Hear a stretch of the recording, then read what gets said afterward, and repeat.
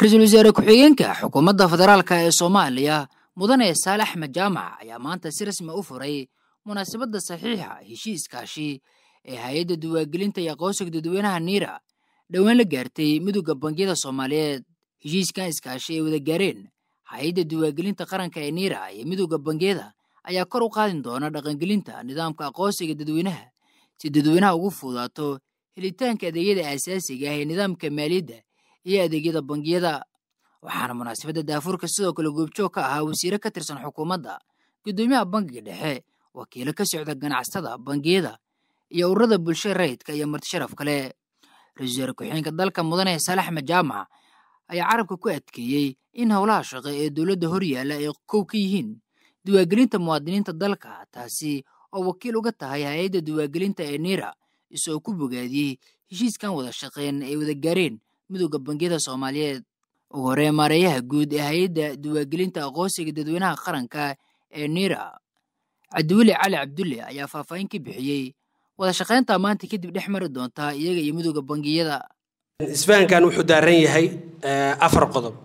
Marka koowaad waxaanu kala sixananaa heshiis wada shaqayn inaan ka wada shaqayno hirgelinta nidaamka aqoonsiga sida aad ka warhaysid mudane ra'iisul wasaare wadankan wadankeenna sidii dowladnimadu inoo ka burburtay soddon iyo afar samo aqoonsi midaysan ma aynan lahayn. Dowladda xukuumadda dan qaran waxay ku guulaysatay inay ansixiso sharcigii hay'addana dhisto. Ilaahay wuxuu nagu guuleeyey inaan maaragtay daah furno oo nagala qayb gasheen idinkoo dhan. Waxaa waxaa noo suurtagalay inaan samayno xarumo diiwaangelin oo magaalada muqdisho haddana waxaa noo qorshaysan inaan ka furno xarumo diiwaangelin maamul goboleedada oo adeega aan ku baahayno. Si marka aqoonsigu uu u noqdo u daboolo baahiyihii loo asaasay oo adeega maaliyadeed ay ugu horeyso waxaa asaasi ah inaan iska kaashanno oo si midaysan aan u wajahno caqabadaas. Ra'iisul ku-xigeenka dalka ayaa sheegay in hay'adda niira ay ka mid tahay hay'adaha haatan u shaqeeya sida weyn isagoo carabka ku adkeeyey in xukuumadda dan qaran ay xoog badan gelinayso in la diiwaangeliyo muwaadiniinta dalka. Waxaana ra'iisul ku-xigeenka dalka uu sheegay in diiwaangelinta dadka ay wax badan ka hortaagan yihiin muwaadiniinta soomaaliyeed.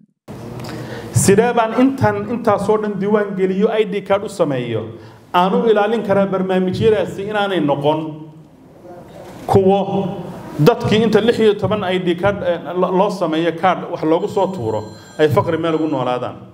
Sideen u ogaan karaa qofka beer ka shaqaysta iyo ka waxbarasho ku jira barnaamijyada dadka nugul ee adeega loogu fidinayo horta aasaas bu i d cardkani u yahay dalkiina way qabsadeen berri marka dadka la shaqo gelinayana ama financial inclusion la yidhaahdo qofkaasi inuu baahi qabo oo gacmaha hoorsado dee ilaahay uma qorin inuu daa'iman abadan saa ku jiro wuxuu keliya u baahan yahay bangi intuu tago uu laba kun ka amaahdo beertiisa ku fasho faqriga ka baxo.